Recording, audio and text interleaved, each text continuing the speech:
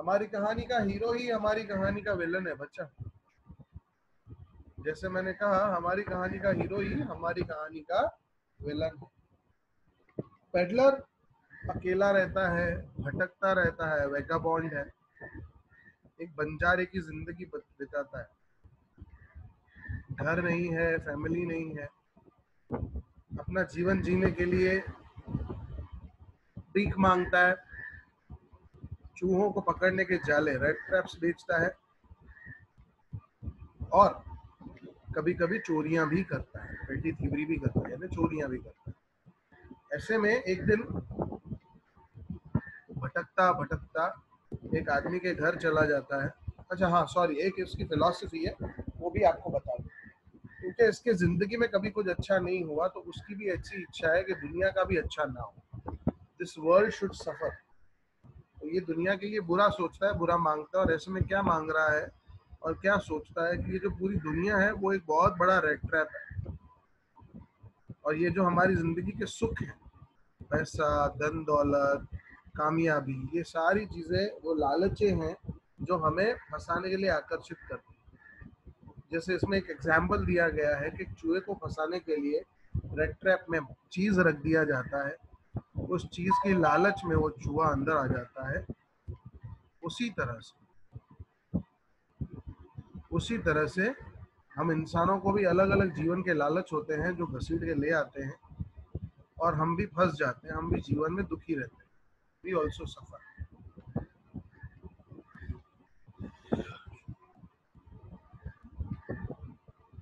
आगे बढ़ते अब वहाँ से वो उस क्रॉफ्टर के घर एक रात के लिए रुकता है। क्रॉफ्टर बहुत अच्छा इंसान है। इस अजनबी को, इस भूखे नंगे इंसान को, जिसके कपड़े फटे हुए हैं, जिसके पास ढंग के लुक्स नहीं है, उसको वो खाना खिलाता है, घर पे ठहराता है, सिगार पिलाता है, उसके साथ पत्ते खेलता है और उसके सामने अपनी ज़िंदगी की सारी सच्चाई खोल के रख देता है कि एक जमाने में वो फार्मर था। फिर कैसे फ़ार्मिंग से वो छूट गया, फिर वो दूध बेचने लगा, उसके पास गाय है, जो इतना अच्छा दूध दे देती है कि डेयरी के ऊपर बेचने में उसे आसानी होती है। और वो ये भी दिखा देता है कि मेरे पास थर्टी क्रॉन्स है, जो मैंने पिछले एक महीने में कमाए हैं। यहाँ तक की कहानी हमने सुनी हुई है। यहाँ से आगे की कहानी मैं आज आपको करवा अब यहाँ पे क्या हुआ? सुबह हुई क्रॉफ्टर अपने रास्ते निकला पेडलर अपने रास्ते में सुबह हुई क्रॉफ्टर अपने रास्ते निकला पेडलर अपने रास्ते निकला but half an hour later the rat trap peddler stood again before the door लेकिन हार्डली आधा घंटा ये बीता बीता था वो पेडलर वहीं खड़ा था He didn't try to get in. However, he only went up to the window, smashed a pane, struck in his hand, and got hold of the pouch with the 30 crowns. He took the money and thrust it into his own pocket. Then he hung the leather pouch where very carefully back in its place and went down. तो वो क्या करता है? वहाँ पहुँचता है, घर के अंदर नहीं घुस रहा। घर के अंदर नहीं घुस रहा। खिड़की से ही वो पाउच बाहर निकाला। उसमें से थर्टी क्रॉन्स लिए, अपनी जेब में डाले और यहाँ पे आता है लाइफ का एक टर्निंग पॉइंट। जो इंसान सबको बुरा समझा रहा, समझ रहा था और जो सोचता था कि पूरी दुनिया ही बुरी है, दुनिया एक रेड ट्रैप है, जिसमें ये सब बेवकूफ़ फंसे हुए हैं, इस बार ये खुद उस रेड ट्रैप में फंस गया। इस बार ये खुद उस रेड ट्रैप का निवाला बन गया। चोरी करने के बाद इसके मन में आता है कि अब अगर शहर की तरफ़ जाऊँगा, इसके मन में आता है कि अब अगर शहर की तरफ़ जाऊँगा तो पकड़े जाने का खतरा है। वो बंदा क्रॉफ्टर मुझे अगर देख लेगा तो सवाल करेगा अरे कहाँ जा रहे हो? क्यों जा रहे हो? उन सबसे बचने के लिए एक आसान रास्ता ढूंढता है कि वह जंगल की तरफ़ चलना शुरू करता है ध्यान से देखिए। As you walk along with the money in his pocket he felt quite pleased with his smartness He realized, of course, that at first he dared not to continue on the public highway. But must turn off the road into woods उसने क्या फैसला किया कि मैं जंगल की तरफ़ चला गया। During the first hours this cause him no difficult और उस रास्ते, जंगल के रास्ते में पहले एक, दो घंटे में उसे तकलीफ़ नहीं आई। Later in the day it became worse for it was a big and confusing forest which he gotten in दोपहर को प्रॉब्लम क्या हो गई कि वो अब जंगल में भटक गया कंफ्यूज हो गया। He tried to be sure to walk in definite direction but the paths twisted back and forth so strangely he walked and walked without coming to the end of the wood and finally realized that he had only been walking around in the same part of the forest उसको थोड़ी देर बाद मतलब शाम तक जाके realise होता है कि मैं आज पूरा दिन जो पैदल चला हूँ वो एक ही फॉरेस्ट में गोल गोल गोल गोल घूम रहा हूँ मुझे रास्ता नहीं मिल रहा है all at once he recalled his thoughts about the world and the right और उसी पल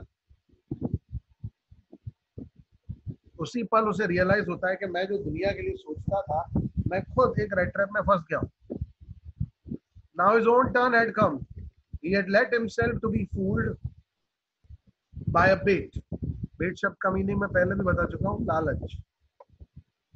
And had been caught the whole forest with its trunks and branches its thickets and fallen logs logs मतलब लकड़ी।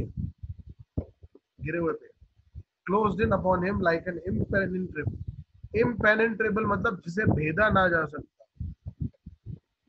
जैसे आप अगर एक दीवार के आर पार ना निकल पाते तो उसे इम्पेनिट्रेबल कहें।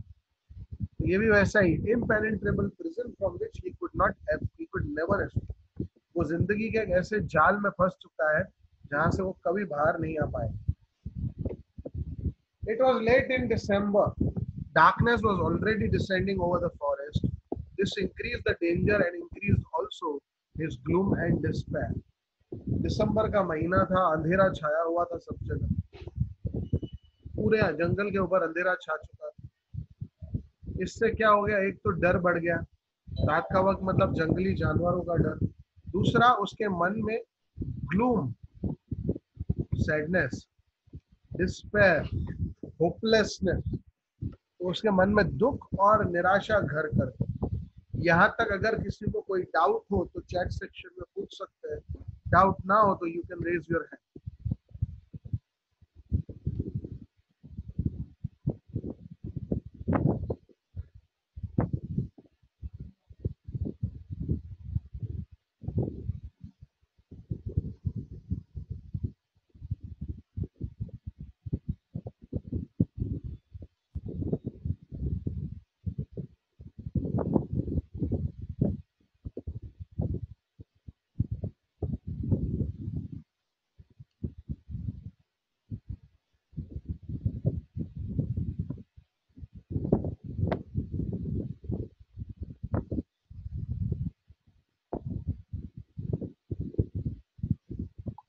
doubt आया।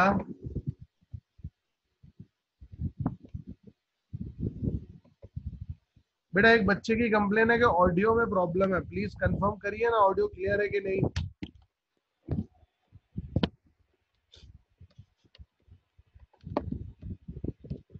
ग्लूम का मतलब होता है दुख। डिस्पेयर का मतलब होता है निराशा। जस्ट वन मिनट बेटा हाँ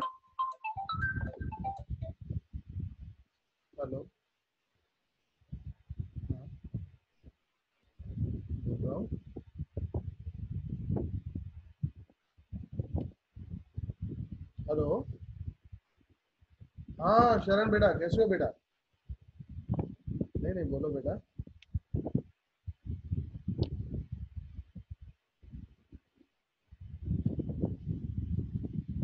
कॉमर्स? शरण, मैं आपको कॉल बैक करूँ बेटा? पाँच में यहाँ पे थोड़ा नेटवर्क का इशू हाँ। बेटा, मैं करता हूँ। देखे डाउट्स देखे।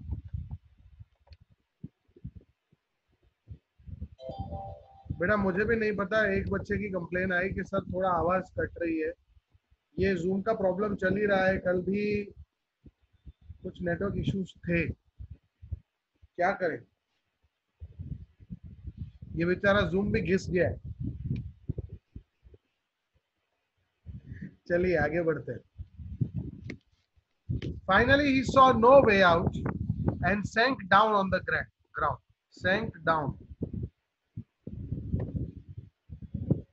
sinking का मतलब होता है बेहोश होना। वैसे तो डूबना होता है साधारण भाषा में लेकिन यहाँ पे सेंक डाउन डाउन ऑन ग्राउंड मतलब बेहोश होके नीचे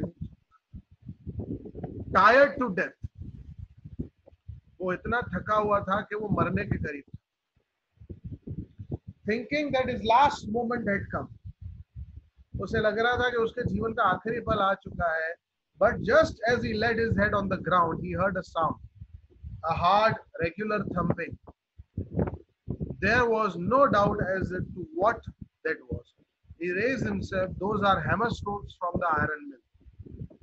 अब क्या हुआ बेटा ऑलमोस्ट इसकी हालत चल चल के खराब हो चुकी थी शरीर में कोई स्टेमिना नहीं बॉडी वीक कमज़ोर मौत के करीब इतना थका हुआ था कि समझो मर ही गया इतना थका हुआ था कि समझो मर ही गया और जैसे वो ज़मीन पर लेट जाता है, ये सोच के कि ये मेरी ज़िंदगी के आखिरी पल है, उसे ठाक ठाक ठाक, ठक की आवाज़ सुनाई देती है। और उसे रियलाइज़ होता है कि ये किसी लोहे की फैक्ट्री की आवाज़ है, जहाँ पे लोहे को पिघलाया जा रहा है, जहाँ पे लोहे को शेप दिया there must be people nearby he summoned all strength summoned का मतलब होता है गैदर्ड इकट्ठा कर लेना। वैसे समंड का मतलब होता है बुलाना इस सेंटेंस के अंदर समंड का मतलब है इकट्ठा करना। He summoned all strength got up and staggered staggered मतलब लड़खड़ा के चलना। Walking with difficulty in the direction of the sound उस साउंड के डायरेक्शन में चलने लगा।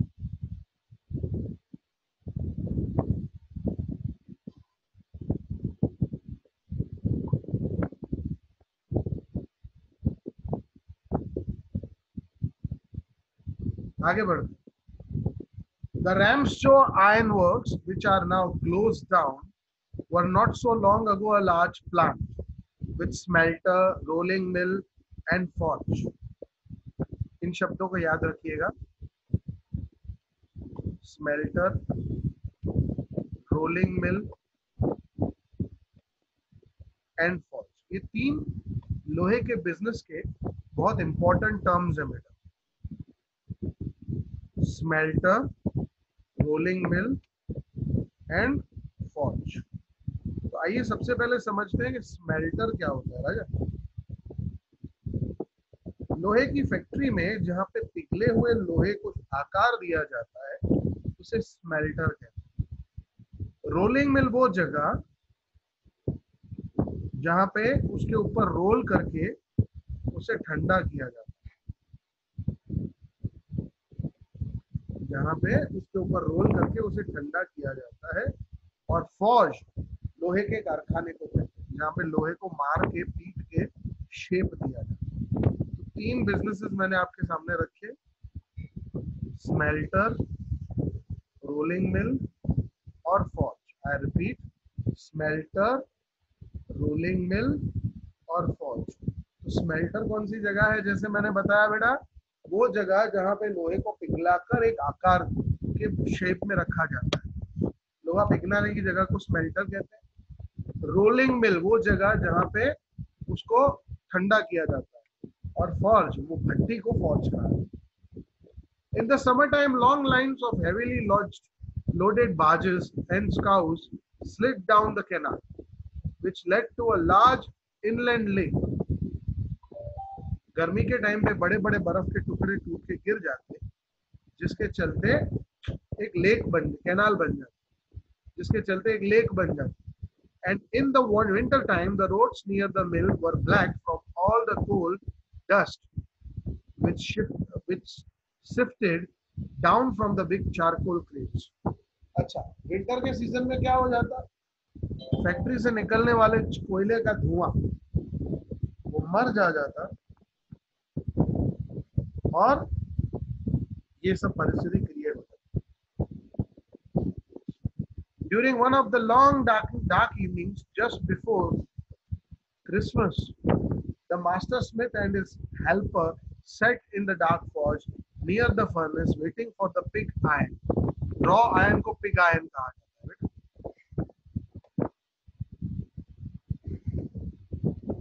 रॉ आयन को pig iron which had been put into the fire and then one of them got up sorry to be ready to put up or put up on the anvil every now and then one of them got up to stir stir का मतलब होता है हिलाना जैसे दूध की पतीली में चम्मच डाल के आप हिलाते हो तो उसको स्थिर कहते हैं stir the glowing mass with a long iron bar returning in a few moments mass moments mass with a long iron bar returning with, uh, in a few moments dripping with perspiration पसीने से लबरेज factory लोहे की factory में काम कर रहा है तो पसीना तो होगा ही। Though, as was the custom, he wore nothing but a long shirt and a pair of wooden shoes. Factory में काम करने वाले अक्सर लॉन्ग शूज़ और लॉन्ग शर्ट और वुडन शूज़ पहनते all the time there were many sounds to be heard in the forge factory में कई सारी आवाज़ें सुनाई दे रही द बिग बेलोज बेलोज कहते हैं बेटा जो पंप होता है जिससे हवा बार बार फूकी जाती है फैक्ट्री में, उसको बिलोज कहते हैं The big blows groaned and the burning coal cracked. The fire boy shoveled. Shoveled का मतलब होता है उड़ेलना वो एक बर्तन में उठा के इधर से उधर फेंकना, उसको शॉवल्ड शॉवल्ड चार कोल इंटू मॉ यानी मुँह of the furnace with a great deal of clatter आवाज़। क्लैटर एक तरह का आवाज़। Outside roared the waterfall and the sharp north wind whipped the rain against whipped the rain against the brick tile roof it was probably on account of all the noise that the blacksmith did not notice that a man had opened the gate. ये सब आवाजों के चलते उस लोहार का ध्यान ही नहीं गया कि कोई वहाँ पे आया है। And entered the forge until stood close to the furnace जब तक कि वो आदमी चलते चलते फर्नेस के क्लोज ना आ गया। यहाँ तक अगर किसी को कोई डाउट हो तो चैट में पूछ सकते हैं, वरना अपना हाथ ऊँचा करेंगे प्लीज़ बेटा।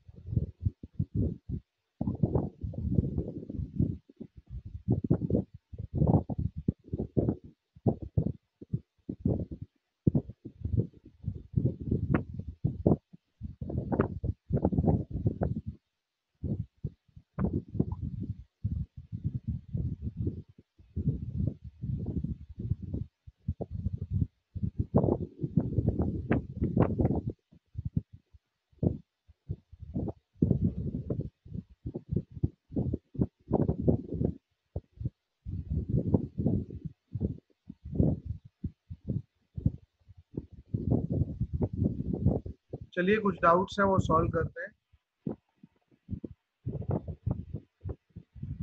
बिल्कुल बेटा दे देंगे, इसमें मुझे क्या दिक्कत है? I have no objection in giving you a complete view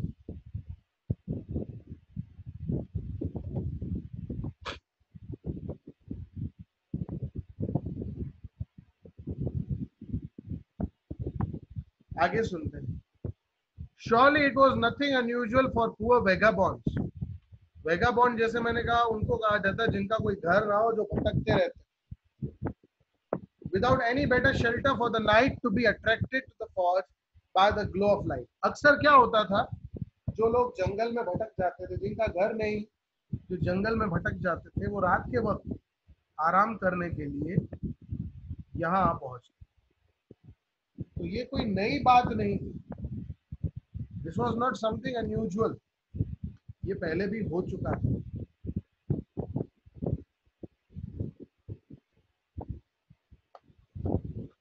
ये पहले भी हो चुका था। And to come to the warm themselves अच्छा यहाँ पे एक चीज़ रहेगी। सूटी पेंट्स ये मैं समझा दू क्या क्या?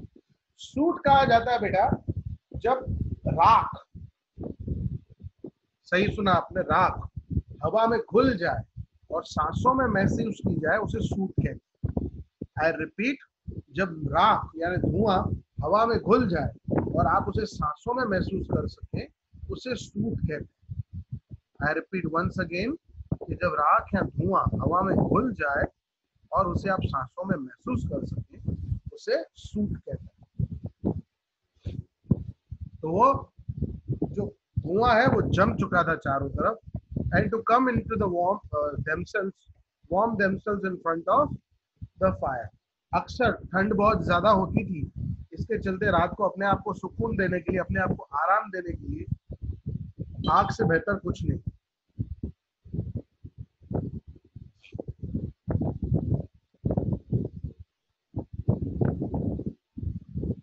He looked the way people of his type usually did, with a long beard, dirty, waged.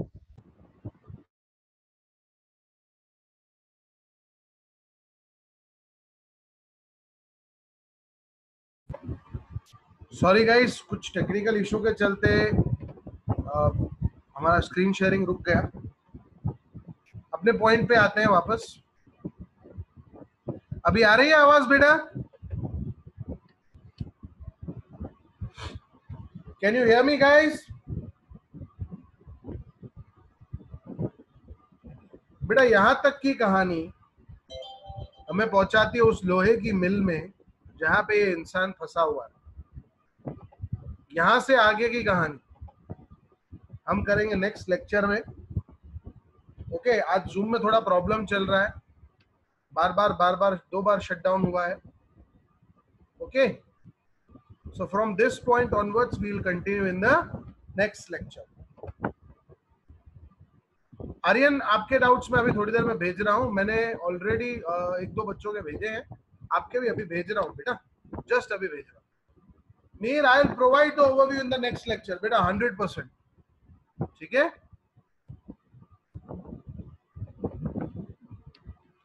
चलिए we are closing the lecture early today because network का थोड़ा प्रॉब्लम चल रहा है। मिलते हैं नेक्स्ट लेक्चर में बेटा।